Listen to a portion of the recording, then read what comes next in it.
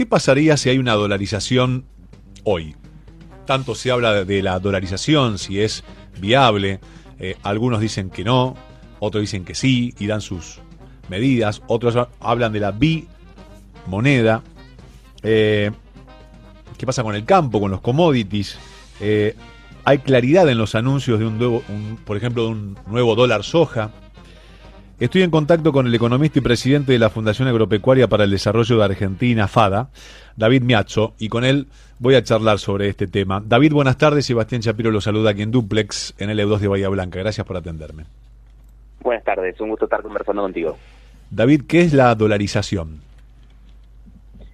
Bueno, la dolarización básicamente es eh, que el dólar sea la moneda de circulación en Argentina, sea la moneda eh, única eh, y unidad de cuenta para todos nosotros, digamos, donde ahorramos en dólares, donde todos los precios están expresados en dólares, donde nuestros salarios, nuestros gastos, los impuestos, todo está expresado en dólares. ¿A qué, a qué tipo de cambio hoy? Bueno, esa es una de las grandes discusiones porque hoy es muy difícil decir algún tipo de cambio por la simple razón que no tenemos contra qué dividir, digamos. Hoy tenemos eh, uno de los grandes problemas de la economía para cualquier plan de estabilización, dolarización o no que se implemente, es el gran exceso de pesos que tiene la economía, que hoy equivale esa cantidad de pesos a el tipo de cambio libre, redondeemos 700 pesos, a casi 40 mil millones de dólares. Entonces, si yo quisiera eh, dolarizar a ese tipo de cambio, básicamente a todos los que tienen pesos, plazos fijos, etcétera, yo les tendría que dar 40 mil millones de dólares para lograr eh, eh, dolarizar a ese tipo de cambio. ¿Y de dónde sacó la plata? bueno, justamente ese es el problema, porque el Banco Central hoy no solo que tiene cero, sino que tiene menos 10 más, menos, menos, porque en realidad, por ejemplo, la, deuda comercial con importadores ha crecido 15 mil millones de dólares, que eso no, está en la foto, o sea que tenemos eh, eh, menos 10 más esos menos 15 más algo más, terminamos teniendo menos 30 mil millones de dólares de reservas reales del Banco Central. Entonces, ahí es cuando uno no puede decir ningún tipo de cambio porque no hay contra qué dividirlo. Digamos, esos pesos dividido cuántos dólares. ¿Y por qué, ¿y por qué eh, algunos sectores lo utilizan como un fuerte discurso presidencial, ¿qué le pasaría al sueldo de una persona que lo percibe durante todos los meses con sus paritarias o no? Si hay una dolarización versus los precios en góndola que están retrasados por subsidios, por un montón de cosas, ya me dirá usted, eh, y versus la realidad que le, tocaría afrontar. Bueno, eh, primero, eh, claramente es genera tensión, genera interés porque claramente lo que hemos venido haciendo los últimos 70 años tampoco ha funcionado, ¿no? Que hemos destruido el peso actual, hemos destruido los australes, el peso argentino, el peso ley, el peso moneda nacional, digamos, quienes, quienes tienen, quienes nacieron antes del año 40 eh, han, visto todos estos, eh, antes del año 50. Patacones, Lecop, eh, sí. Eh, y además las cuasimonedas, tal cual. Entonces, eh, claramente eh, lo único que hemos sabido hacer es destruir monedas y generar inflación y en el proceso generar crisis y pobreza, ¿no? Entonces, una alternativa que te evita poder generar todas esas cuestiones, poder emitir, poder eh, generar inflación por esa vía, ¿no? resulta atractiva, ¿no? Para todos. vos me decís, mira, acá te tengo una solución que te va a generar estabilidad, te va, eh, te va a evitar que puedas generar inflación eh, y que puedas destruir nuevamente la moneda, ¿no? Entonces, en primera instancia te genera claramente una, una atracción porque eh, es una cuestión, digamos, muy positiva de la dolarización. El, principal argumento positivo de la dolarización es ese, que te genera estabilidad hacia adelante. ¿Y en qué lapso se, implementa con éxito? ¿Perdón? ¿En qué lapso se implementa una dolarización con éxito? Para que rebalse eh, y le cambie la, la, vida, porque esto de la noche a la mañana no existe, ¿o sí? No existe en primera instancia por lo que conversamos recién. Vos tenés que tener dólares para entregárselo a lo que tienen pesos. y, estás menos, menos, menos, menos, menos 10 mil o 15 mil o 20 mil millones de dólares debajo. Exactamente, entonces eh, esa es la primera dificultad, eh, incluso si uno piensa que la dolarización es la solución, ¿no? Entonces esa es la primera dificultad que hoy eh, no se sabe cómo se puede salvar. Creo que ni, el propio equipo de Miley, porque eh, cada día que escuchamos, escuchamos una propuesta distinta de cómo se podría llegar a eso. Eh, entonces, ahí está lo primero. Hoy, claramente, en la situación en la que estamos, sería muy probable que se pueda llevar a cabo con éxito. Y después, si bien es positiva la dolarización para todo lo que conversamos recién en términos de estabilización, etcétera, en realidad genera otros problemas hacia adelante si se lograra si se lograra dolarizar. Y esos problemas son básicamente dos, eh, principalmente. Eh, vos, que los países tengan su moneda y que las monedas floten, les permiten acomodarse a las cosas que pasan en el resto del mundo, que pasan en nuestros socios comerciales. Eh, por ejemplo, ¿qué pasa si eh, el año que viene, por alguna razón, Brasil genera una gran devaluación? Bueno, a Argentina se le genera un problema porque empieza a estar cara en relación a su principal socio comercial, destino turístico, etcétera, ¿no? Entonces generaría eh, mayor nivel de importaciones, mayor eh, nivel de emisión turística y todo eso generaría salida de divisas de la Argentina. En un sistema de flotación, que, todo el resto estuviera más o menos acomodado, la moneda tendería a depreciarse para acomodarse a la nueva situación. Vos con una dolarización esto no lo podés hacer. Y este ejemplo que, te doy y que varios economistas lo han mencionado, no es algo totalmente teórico, es algo que ya pasó, nos pasó entre el 98 y el 99 cuando Brasil pegó una gran devaluación y eso fue la estocada final a la convertibilidad, porque no tenía herramienta, no tenía forma Argentina de acomodarse a esa nueva situación regional con la economía más fuerte de, América Latina, que es Brasil, y principal socio comercial de Argentina. ¿Y entonces qué eh, hacemos? Esa es una cuestión. ¿Y qué hacemos? Eh, eh, perdón, y, te sumo la otra, voy a tratar de ser más corto, que es que eh, nosotros el 70% de nuestras exportaciones son exportaciones del agro. Cuando el dólar se fortalece a nivel mundial porque suben las tasas y el dólar empieza a subir y, se hace más fuerte contra el resto de las monedas a nivel mundial, los precios de las commodities caen y nuestras exportaciones caen. Es decir, que si estamos dolarizados y cae el precio de nuestras exportaciones, nosotros necesitaríamos que nuestra moneda se deprecie. Pero no, estaría pasando lo opuesto. Entonces también nos metería en una trampa muy complicada de salir después. Así que eh, esas son las dos cuestiones por las que incluso si se pudiera aplicar la dolarización, tampoco necesariamente es una solución de, de mediano plazo, de largo plazo, porque tenés estas cuestiones que pueden pasar en el mundo que rápidamente te afectan y a vos te dejan sin una capacidad de reacción. Y ahí voy a responderte lo que me estabas por preguntar que no te dejé. ¿Qué otra cosa se puede hacer? Lo otro que se puede hacer es lo que han hecho nuestros vecinos, lo que ha hecho Chile, lo que ha hecho Perú, lo que venía haciendo Bolivia hasta hace un par de años que descarriló con el gasto público y, que ahora está por explotar por el lado cambiario, pero lo que ha hecho Brasil, lo que ha hecho Uruguay, Paraguay, que muchas veces miramos con cierto eh, entusiasmo eh, o con cierta envidia eh, la estabilidad que han logrado sus economías y, cómo preservan valor sus monedas. Viste, cada dos por tres sale alguna noticia que en la frontera se ahorra en, guaraníes, ¿no? Sí, sí. Eh, vos vas a Paraguay, vos vas a Paraguay. En Paraguay, en los lugares de, venta, perdóname, te hago una, un, paréntesis, hablando de justamente esto, hablas con cualquier paraguayo, ninguno ahorra en dólares, es muy raro, eh, y hablan de, de real y de, y de guaraníes y vas a, obviamente el peso no, lo quieren ni en figurita, ¿no? Vas a comprar y te dicen, te lo convierto en dólares o, o trae reales o guaraníes. Y lo mismo pasa eh, eh, en Uruguay, pasa en Brasil, pasa en Chile, pasa en Perú, eh, incluso cuando han tenido problemas graves en Perú, grandes problemas políticos. Bueno, porque, digamos, esa es la otra alternativa y que todos nuestros vecinos, excepto Venezuela, han aprendido, que es tener una política fiscal responsable, donde no se gasta más de lo que se emite, pero sobre todo una política monetaria responsable, con un Banco Central independiente que no financia el Tesoro y no genera emisión excesiva de dinero, por lo tanto, el dinero no pierde valor y tiene una inflación muy controlada durante décadas, o sea, excepto el caso brasilero y el caso boliviano que está a punto de explotar o está en proceso de explosión hoy mismo, eh, todo el resto de, nuestros vecinos viene gozando de estabilidad del valor de su moneda y baja inflación hace prácticamente 30 años.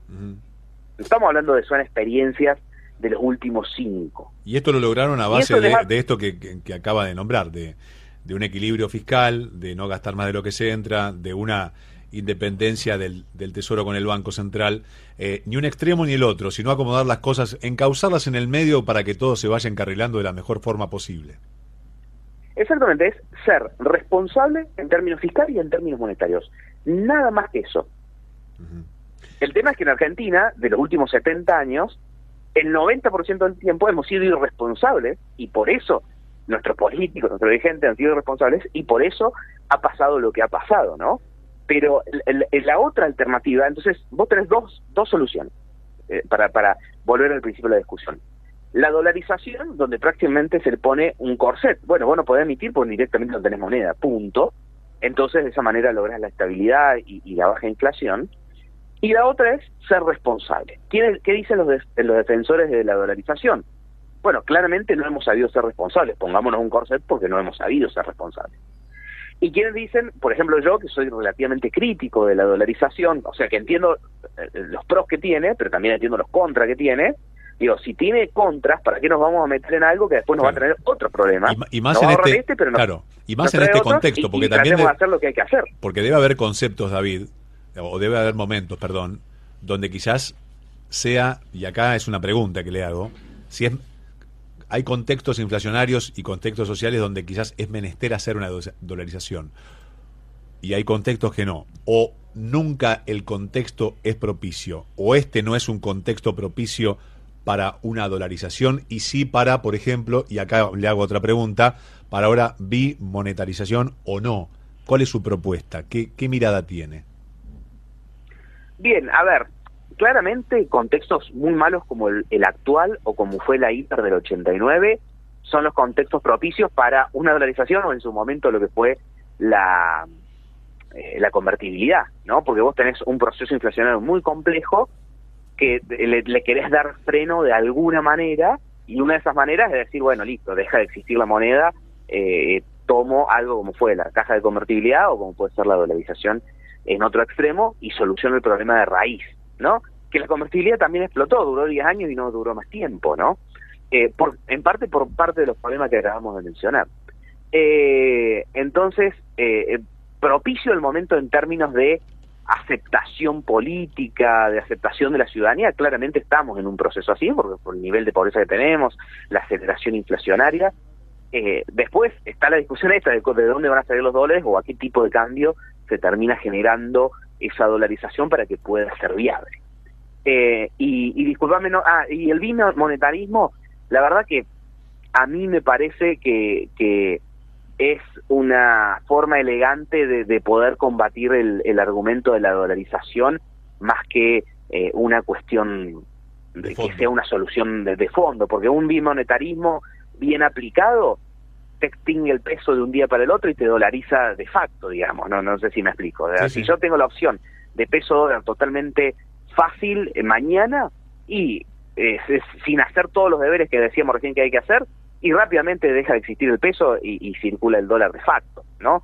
Eh, y ese bimonetarismo se puede hacer por las buenas, con, una con leyes y todo que, que lo habiliten, o por las malas, como termina pasando en los países donde desaparece la moneda, como pasó en Venezuela, como pasó en Zimbabue. la moneda llega a un punto tal de destrucción que, la gente ya dice, ¿para qué voy a tener? Eh, nos manejamos en dólares y punto. ¿no? Entonces, yo creo que el, el bimonetarismo, la verdad que no hemos escuchado más que el título de, quienes lo proponen, de realmente en qué consistiría, pero en primera instancia me parece más un eslogan para tratar de contrarrestar la otra propuesta de dolarización que algo que tenga real sentido de fondo. ¿Y qué es lo más sensato, David, en este contexto? ¿Qué, desde, desde su mirada y también desde, desde su punto de vista como economista. ¿Qué es lo más sensato que le puede pasar a la Argentina? Dice un oyente, eh, ¿el pobre va a ser más pobre? Así, tajante. Mira, lo, más sensato es hacer los deberes. Y hacer los deberes es bajar el gasto público, cortar la emisión monetaria. Todo eso duele porque bajar el gasto público significa que yo mañana tengo que pagar más el gas y la luz, eh, significa que hay que unificar el tipo de cambio, eso genera impacto inflacionario. Eh, eso es hacer, es hacer los deberes y, vamos a tener, hacer perdón, disculpamos una cosa, hacer los deberes lo tenés que hacer con bimontarismo, con dolarización, con, lo, que sea. Digamos, ¿no? Porque la, dolarización te, eh, eh, es una forma obligada de hacer los deberes, pero eh, en todo esto que te acabo de mencionar son las cosas que hay que hacer. Desde mi perspectiva hay que, generar confianza, mostrar claramente cuál es el plan hacia adelante y hacer las cosas de manera decidida y rápida. El primero es el gasto público porque es el origen de todo el problema, ¿no? Eh, y, porque no existen alquimias. No existe nada que te pueda ahorrar esto. Y el pobre va a ser más pobre. Y lamentablemente, hacer muchas de estas cosas te generan salto inflacionario. Porque en realidad es toda inflación que se fue postergando. A ver, eh, que se congelen las tarifas durante muchos años y después vos tengas que multiplicarlas por dos o por tres para que vuelvan a precio de mercado. Bueno, fue inflación que vos ahorraste durante algunos años, pero que después la tenés que pagar, porque no lo podés tener atrasado por toda la eternidad. O lo mismo pasa con el dólar. Bueno, vos atrasaste con el dólar y hoy tenés una brecha cambiaria del 100%. Bueno, ahorraste inflación estos últimos tres años, pero la vas a generar hacia adelante. Eh, a lo que voy es que hacer los deberes, realmente hacer lo que hay que hacer, te genera un salto inflacionario en primera instancia que a todos los que tenemos ingresos en pesos nos hace más pobres. ¿Y al campo? Porque, bueno, al campo, a ver, si hay unificación cambiaria, por ejemplo, es algo positivo para todas las actividades exportadoras. El campo, la minería, el petróleo, la economía del conocimiento, para todas las actividades, el turismo, para todas las actividades exportadoras, la unificación cambiaria, por ejemplo, que es una de las primeras cosas que hay que hacer, es algo que los impacta positivamente. Y justamente es una de las cosas que se necesitan, que distintas actividades puedan empezar a traccionar la actividad y empezar a generar más dólares genuinos, que es lo que en fondo necesitas. Por el fondo lo que necesitas es que el país genere dólares de verdad, no que nos sigan prestando. Porque eso tiene un límite y que ya lo hemos visto. La cuestión es que generemos dólares de verdad para poder empezar a solucionar todas nuestras deudas y la deuda que tenemos con, con, todos los tenedores de peso, como decíamos al principio. Entonces, eh, eh, el campo y todas las actividades exportadoras, por ejemplo, con una unificación cambiaria, se benefician y eso impulsa las exportaciones. Y es una de las cosas que necesitamos para salir. Después muchas otras cosas como eh, la baja del gasto público, bajas de, de, de subsidios, etcétera, bueno, seguramente le pegarán de manera negativa a varias actividades que eh, usan energía eléctrica, por ejemplo, o varias agroindustrias que usan gas, etcétera, bueno, eso pegará un poco negativamente, pero también se entiende, como decíamos recién, que es una necesidad para poder empezar a estabilizar la economía. Tal cual.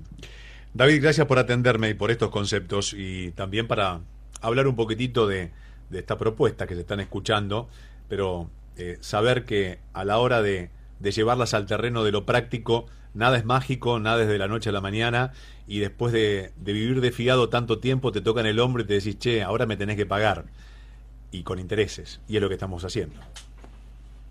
Exactamente, exactamente esa es la eh, es lo que se nos viene por delante. Eh, yo soy relativamente pesimista, por decirlo de alguna manera, de los próximos 12, 18 meses, porque sea que sea quien gane y sea el plan que eh, termine llevando a cabo, eh, van a ser momentos difíciles porque tenés que empezar a sincerar toda la economía antes de poder estabilizar, ¿no?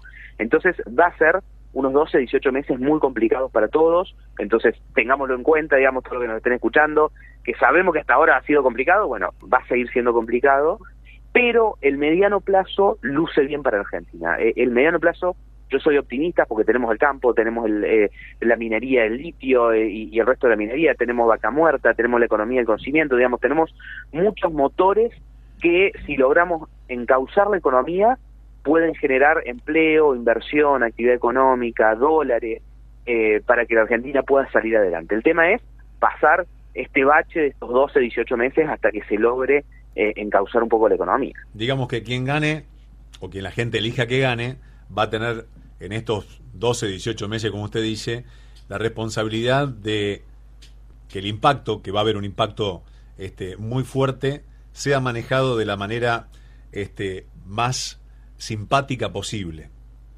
Que el cimbronazo no este, destruya lo menos posible.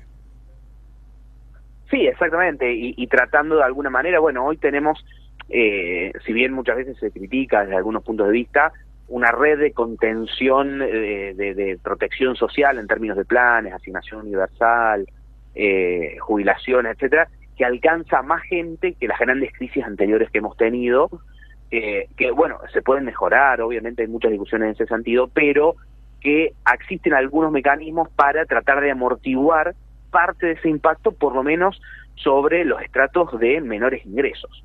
Eh, el tema, y acá siempre eh, el, que la, va a recibir más, más fuerte porque no va a recibir ningún tipo de ayuda de ese tipo y va a sufrir, por ejemplo, todas las subas de, servicios públicos, etcétera, va a ser la clase media, que ya viene muy golpeada, pero va a ser sobre todo el estrato donde más va a pegar o más va a sentir eh, este proceso de crisis. El estrato más bajo también, ¿no? Pero probablemente sea a donde apunten muchas de, las ayudas eh, de, tipo social. Sí, hay que ver si esas ayudas eh, de quien se haga cargo en la próxima administración tenga la moderación y la consideración de hacerlo lo más ecuánime posible para morigerar el impacto. Exactamente, exactamente. Pero bueno, que, que vamos a sufrir todos, lamentablemente, eh, es, eh, es una certeza, ¿no? Eh, pero bueno, le desearemos el mejor de los éxitos al equipo económico que tenga que agarrar esta papa caliente. Yo a veces veo lo, algunos economistas que como que se pelean para ser ministros de economía y digo, hay, hay que tener hay que tener agallas para y mm. vocación para, para poder agarrar esta papa caliente que, que significa administrar la, la difícil economía argentina. Ojalá la, pueden, la puedan agarrar, la puedan entibiar y la puedan repartir de la mejor forma para que todos coman. Un abrazo. Exactamente. Y reproducir, que es lo importante. Sí, y reproducir, y que haya, y que, y que, haya, y que, claro, exactamente, que siempre en la olla haya papa y guiso para, este, para que nadie pase hambre. Un abrazo a la distancia. Un gusto conversar contigo. El, el gusto ha sido mío. Eh, hermosa la charla con este David, este quien es eh, economista y presidente de Fundación Agropecuaria para el Desarrollo de Argentina, se llama David Miazzo, con doble Z, Miazzo.